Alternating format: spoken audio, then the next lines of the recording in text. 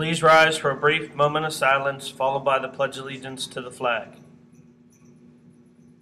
I pledge allegiance to the flag of the United States of America and to the republic for which it stands, one nation, under God, indivisible, with liberty and justice for all.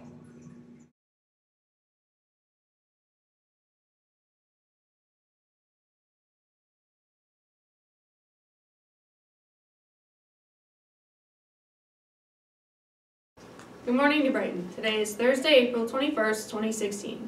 Seniors who are planning to pursue a career in the medical field should stop in the guidance office for a scholarship opportunity from Heritage Valley. Applications must be mailed by May 27th. Attention juniors, it is not too soon to start planning for financial aid for college applications. The application filing date for federal and state financial aid is changing. Starting next year, families may submit the FAFSA application as early as October. The Guidance Department is planning a financial aid night on Wednesday, April 27th to explain the new process to juniors and their families. If you would like more information, please sign up with the Guidance Office by Friday, April 22nd.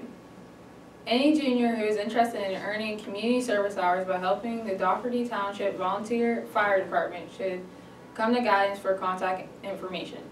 Attention seniors, applications for the Dave Bush Memorial Scholarship are available in Mr. Stuber's room. Deadline is May 4th.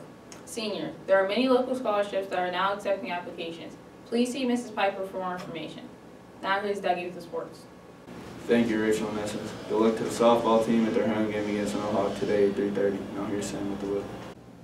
Thanks, Doug. Today it's going to be partly cloudy with a 10% chance of precip- precipitation. It's going to be a high 68 and a low 51. Now back to the rest of the news.